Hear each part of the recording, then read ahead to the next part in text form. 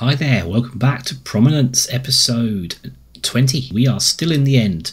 Uh, for those that watched the last episode, I found this place here, just your standard end city, complete with Elytra ship and a load of shulkers, which has been awesome. So I've been back back home. I've dropped off a lot of my stuff in uh, my storage. I'm back here because I noticed this at the end of the episode, and it's intriguing me.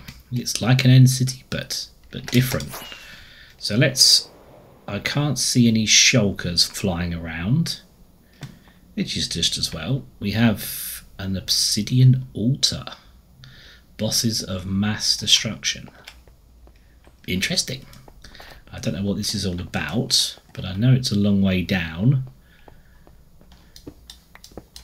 How do we get in? After all that, it appears to be just a big lump of stone and bricks and things and obsidian. There's nothing in it. What a letdown. Anyway, uh, let's continue with something hopefully a little bit more entertaining for you guys. It is so good having wings, being able to explore a place like this from above, and yeah, hopefully I can find some more places to loot.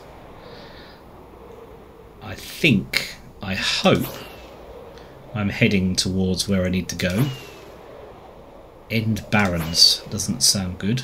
Oh, it is the right way. Okay, that's cool. There's another one of these strange floating pointless things, so I'm just going to fly right past that one.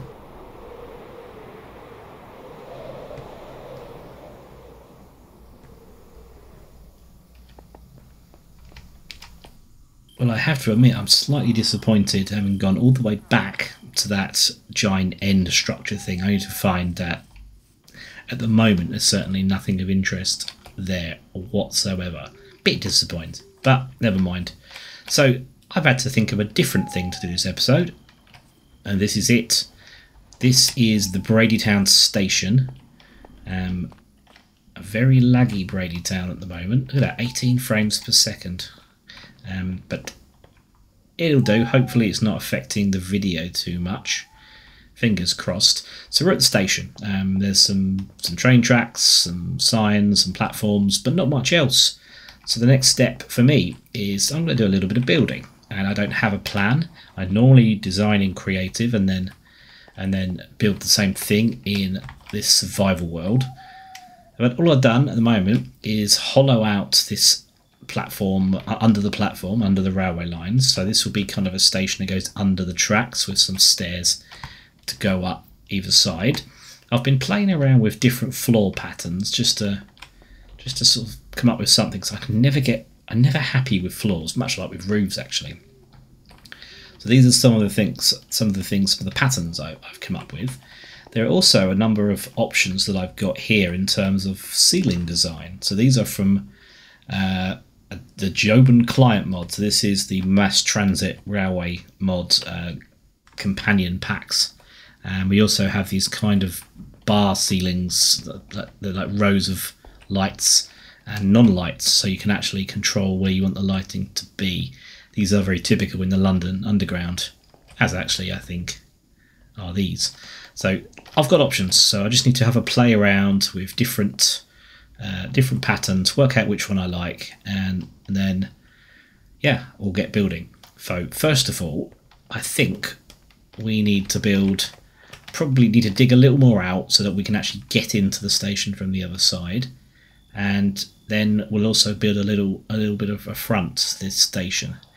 Not sure what style I'll go yet. I'm just going to have a play and see what I come up with. Well then, I'm pretty happy with how things have turned out. They're not 100% complete, in all honesty. I've run out of time to get this episode out, but so far, so good. We have a bit more interesting front to the station. We've got a roof, simply uh, spruce slabs. Is it spruce slabs? Yes, spruce slabs on the roof, and it's it's. I've not gone over the top, I, think it's it doesn't need to be over the top in this village. It's it's a fairly simple, basic village, basic basic sort of building design. and I've just elaborated a little bit. The, there's a nest, a bee nest that I was attached to a tree, but I didn't have the heart to get rid of it, so I'm kept it there for now. I might need it later on, but yeah, just a little bit of paint, a few paintings on on the front. I don't know why I did that. It just breaks up the the terracotta, I suppose. But I'm not quite sure what to do with that space. So if you've got any suggestions for that, I don't think the paintings quite work. But yeah, we've got some hang lanterns, nice and simple. Some sort of plant planters at the bottom here. And then as we go in, there are some bigger differences inside. We have some ticket machines. We also have some music. I don't know where that music is coming from, in all honesty. Um, these are Minecraft Transit Railway uh, items or assets, including the ticket barriers, which don't actually let you through uh, unless you have a ticket, and you have to buy a ticket in a ticket machine, which is pretty cool. But I don't know how to do that yet. I think I need some emeralds. Uh, so for now, I've set myself a little uh, uh, staff entrance. Platform numbers are advertised on the stairs for each each area. There's one over there. Uh, loads of platforms from that stairs. This display board is not being used at the moment, but this one is just your standard station update summary, station summary of all the platforms and services and stuff like that. So yeah, I love these end bars. They look pretty good. End rods, sorry, end rods. Just light up that display board nicely. Losing my voice a little bit here. Apologies about that. We got a some sort of map thing that is also from the transit mod, but I don't think that does anything. Right, okay, um, this is the staff entrance here. And and here we are. Oh, that's bright on these shaders. Okay, uh, I built this without shaders on. That's what it looks like. Hmm. I will probably need to turn that down, tone that down a little bit. You want to sit down, we've got a nice uh, seating area, plenty of seating area for people waiting for their trains. Just occurred to me that they could really do with a, a display board this side as well of the front entrance because they can only see the train times if they're outside. So I might have to do something on this side, possibly whilst I'm toning the lights down. All of these walls, they're not finished, obviously. I'm not going to leave them like that. But this is probably where I'll build in some shops and, and things like that. So that'll be pretty cool. Um, it's just a few villagers and they're selling their wares. Loads of empty space. Could put some more benches in, I suppose. I, I didn't want to overcrowd it too much. Last thing to show you in the concourse is one of my favourite mods I've discovered in recent times immersive paintings. So you can actually choose what paintings you want, or you can add your own. So I want something. So for those like myself that have skipped, obviously I'm staff, so I don't need to pay for tickets. But for those that think about trying to jump over these barriers and not paying their fare, we need something here to just scare them off and just to warn them that there will be consequences. So, I have come up with a, a painting or a picture that I think will do that job. It's this guy here. Do you recognise him? If you do, yeah, you're probably almost as old as me. And if you don't, this is the chief baddie from Ghostbusters 2. And he he comes to life from a painting. And look at him. You don't want to mess with that face, do you?